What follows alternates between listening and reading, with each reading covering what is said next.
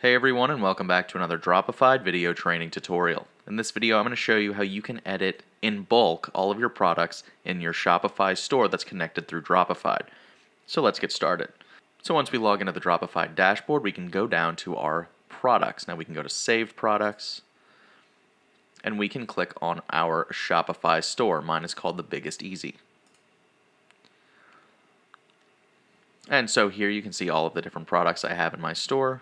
And then you can either individually check the ones you want, or you can just press select all. It doesn't really matter, it just depends on what you want to edit. Then we can go to this drop down menu at the top right here, and we can press edit. So anything that's selected here is going to be editable. So we press apply, and it's going to open up a new tab. Now this is going to bring you to our bulk editor for Shopify.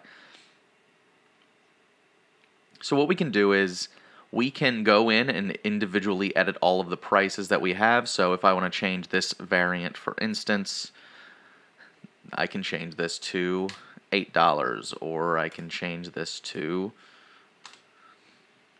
23, 75, anything like that. Or if you go up to the top right here, you have a few different options.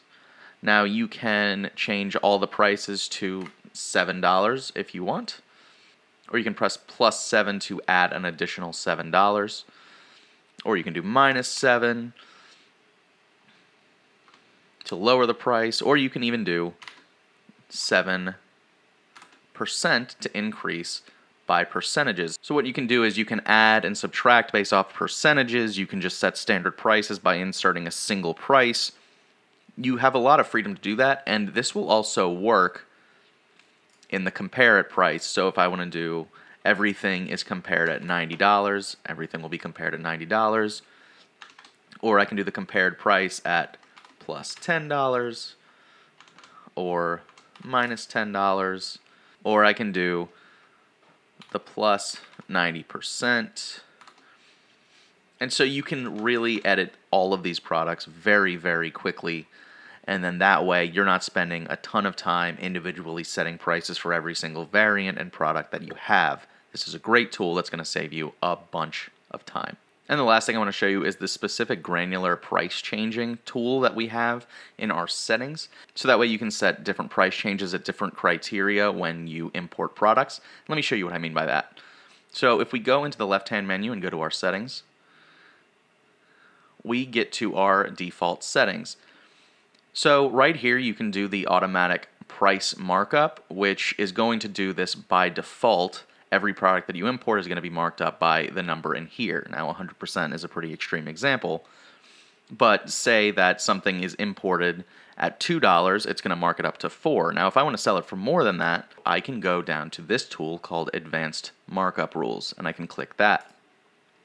And here you can set min and maximum prices, so let me delete this one start from scratch, I can go to add new rule.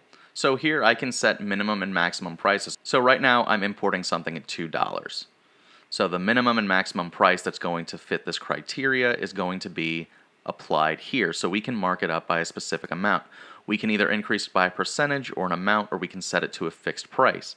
Now, if I want to make $8 on this, I can increase it by $8, or if I know that I just want to sell something for $10, I can set it to a fixed amount. So if something comes in at $2, we're going to set it to a fixed amount of 10 and change it so that we are comparing it at 15 or something like that. So this allows you to get a lot more granular with all of the products that you import so that way you can really start making the specific amount of profit that you want on each of the products and you can mark them up in very specific ways based on the prices instead of just blanketing over them with a single markup rule. So once you're done with that, you just press save. And as you can see, it's listed right here, and you can always go back and edit it or delete it. But that's pretty much all I have to show you in this video. Thank you so much for watching. If you like the video, be sure to leave a like on it. If you have any questions or comments or just want to request a different video that we can cover in the future, be sure to leave it in the comments down below.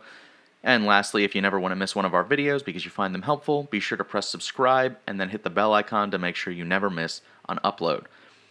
Until next time, I've been Riley with Dropified. Thank you so much for watching and have a great rest of your day.